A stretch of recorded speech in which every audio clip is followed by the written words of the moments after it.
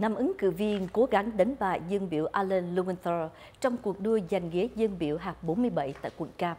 Tin từ quận Cam, California, tại quận hạt 47 quận Cam hiện nay có 5 ứng cử viên đang tranh xem ai là người giành được chiến thắng vào cuộc bầu cử sơ bộ ngày 3 tháng 3 sắp tới với kinh nghiệm sự công nhận đến từ đông đảo quần chúng và lợi thế gây quỹ mà ông Alan Lowenthal có được cuộc bầu cử vào ngày tháng 11 dự kiến sẽ không quá cạnh tranh đối với dân biểu dân chủ đương nhiệm này. Ông Lowenthal đã giữ chức này trong 4 nhiệm kỳ.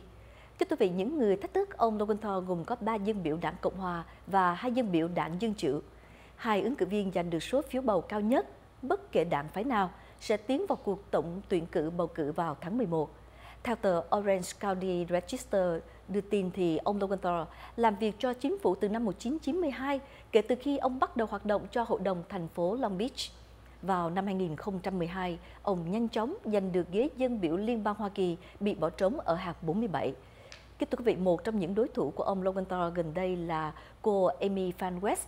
Cô là một người Mỹ gốc Việt ủng hộ Tổng thống Donald Trump công khai và hiện nay đang có số tiền dành cho chiến dịch tranh cử nhiều nhất trong số 5 ứng cử viên. Cô phải đối về việc phá thai trễ, kết hôn đồng tính và hợp pháp hóa cần sa. Cô thực hiện chiến dịch tranh cử trên nền tảng bảo thủ về cải cách di trú, lựa chọn trường học, thị trường tự do và giảm bớt tình trạng vô gia cư. Kính thưa quý vị, bốn ứng cử viên khác bao gồm ông John Briscoe, ông Peter Matthews, ông Jalen Dupree McLeod và ông Somia. Kính thưa quý vị.